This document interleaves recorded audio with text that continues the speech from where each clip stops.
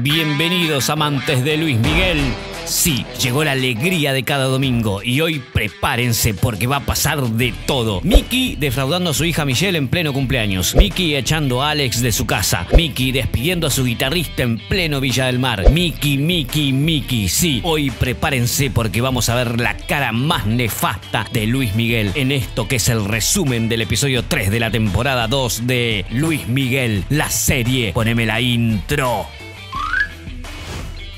Arrancamos con Mickey llegando dos horas tarde a una salida de hermanos, así que ya empezamos de culo. ¿Qué hace dos horas que te esperamos? Perdón, que tuve un compromiso. Bueno, el compromiso. Que la pista de patinaje ya está cerrada, pero como es Luis Miguel, se la abren especialmente para él y listo. Todos contentos, tan contentos que va Alex y le pide un consejo, porque va a salir con una chica. Que dame un consejo, que no tengo ni idea, que a vos te sobran las minas, que tenés que ser vos mismo. Ah, bueno, bueno, bueno, qué consejo, Mickey, ¿eh?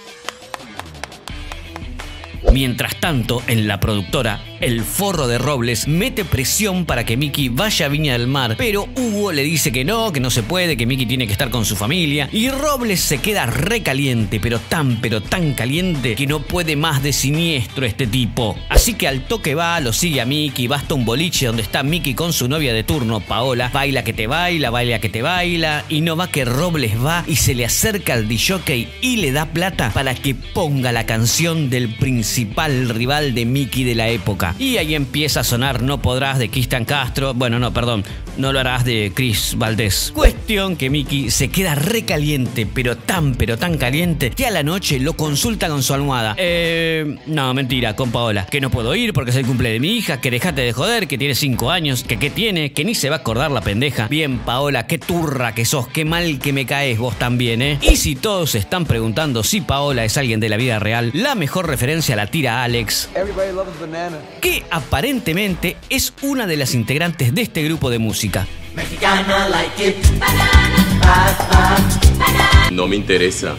Y nos vamos a unos momentos retiernos con la hija, donde le pregunta si ya tiene novio, quién es su mejor amiga, hasta que Sophie le saca la ficha al toque. Que cuándo le vas a decir que no vas a venir, que tengo que ir a Viña en el Mar, que no me entere que mentise. Y en otro momento, que nada que ver, Mickey agarra y le dice a Sophie que hagamos otra fiesta, cuál es la historia. Porque sí, porque es Luis Miguel. Y Luis Miguel en este episodio arregla todo con plata. Bueno, pará, le digo, aguantá, amigo. Corte A, México 2005. Mickey llama a su hija, Sophie le corta y al toque le cuenta todo a Michelle que ya tiene 18 años. Cuestión que Sophie y Sophie se van a vivir a Miami en menos de una semana, pero bueno, antes Michelle quiere conocer a su padre, reconectar un poco. Llega Mauricio con muy pocas ganas de organizar el encuentro y al toque le dice, mira, yo te doy el teléfono de tu viejo, se arreglan entre ustedes, no quiero saber más nada. Uy, y mirá cómo la miró Mauricio a Michelle, eh, basta loco que es la hija de tu amigo, te pido por Dios, eh. No hay más código. Volviendo a 1994, Mickey se está yendo a Viña del Mar, pero no sin antes tirarse un par de instrucciones para Alex. Que no me uses la cava, que no te sientes en el sillón, que no me uses la tele, que no invites a nadie.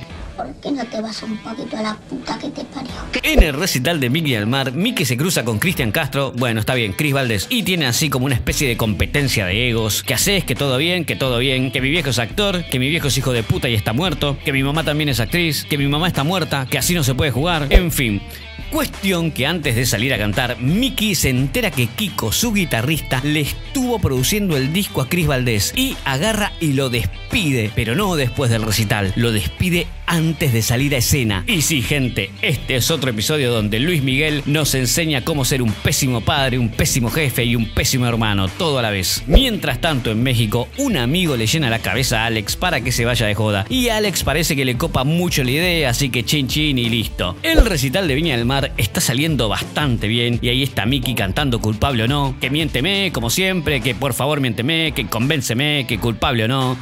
Mientras tanto en el camarín, el forro de Robles se entera que Alex tuvo un accidente y manipula de una manera horrible a Doc como para que no le diga nada. Sos una basura Robles, como te odio. Llega Mickey y todo bien, todo bien, sí, todo bien, todo más que bien, todo re bien, chabón. Robles psicópata de mierda, hijo de puta, como te odio. Mientras tanto, en el 2005, Michelle llega a casa de Mickey. Que qué grande estás, que te hiciste el boludo 11 años, que me quedé re sordo, que te hiciste el boludo 11 años, que te había escuchado la primera vez. La cuestión es que Michelle se quiere quedar en México y eso a Sophie no le cabe ni medio. Mientras tanto, en 1994, Mickey llega al hospital y lo caga a pedos a Alex por el tema del choque. Mientras afuera de la habitación, Hugo, McCluskey y el hijo de puta de Robles discuten sobre el futuro de la gira, que no podemos suspender, que un chabón tiene fotos del accidente y quiere plata, ay que me da una CB. La cosa se pudre cuando Mickey ve una foto de Chris Valdés y quiere seguir con la gira.